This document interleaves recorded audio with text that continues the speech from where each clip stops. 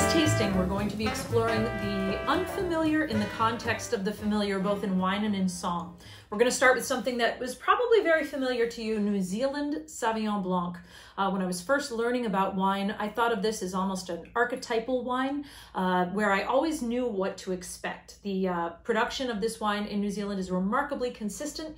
You're always usually going to find uh, ruby red grapefruit, tropical fruits, a grassy quality, and a zingy acidity. I've sold many bottles of New Zealand Sauv Blanc that I've never tasted with that description, and usually I'm right. So uh, that's a good benchmark description to work off of, but today we're doing the unfamiliar. So I bring you a New Zealand Sauvignon Blanc from Marlborough of a very different stripe.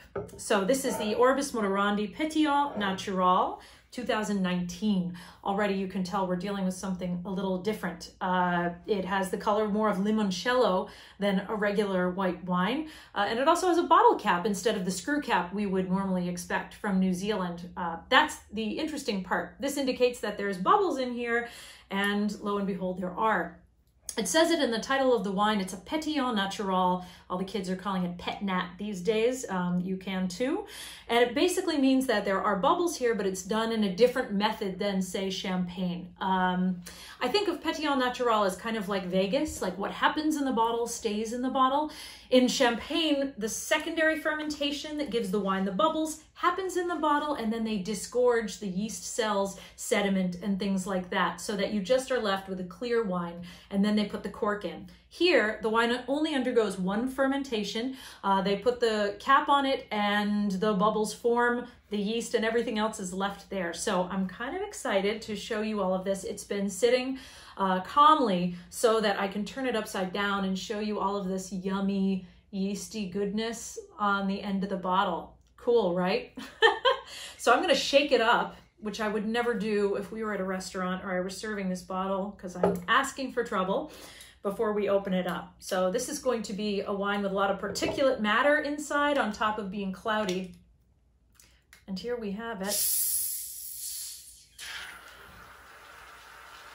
Well, that's why I said not to do it. Edit. So where were we? I'm staying at my best friend's house in Atlanta, Georgia right now because of the situation in New York, and uh, she doesn't know that I'm spilling things all over her guest room, so don't tell her. so here we have the wine. In the glass, it's as cloudy as it was in the bottle. Ooh, okay, I'm fired again. Huh.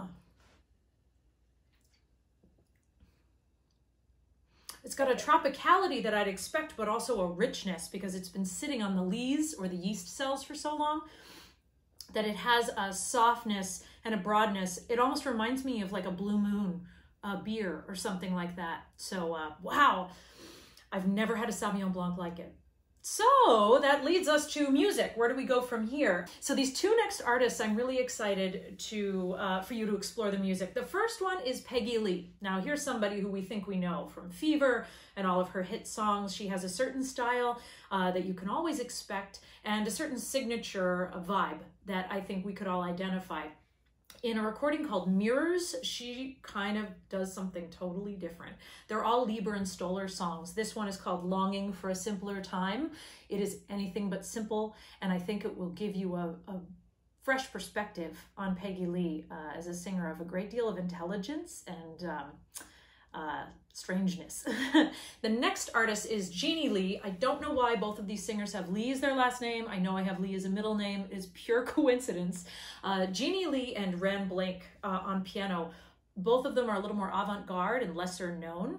In the selection I've chosen for you, they're singing a song that we all know and love. Or if you don't know it right away, the melody uh, will lend itself to knowing why it's a standard. It's called Laura.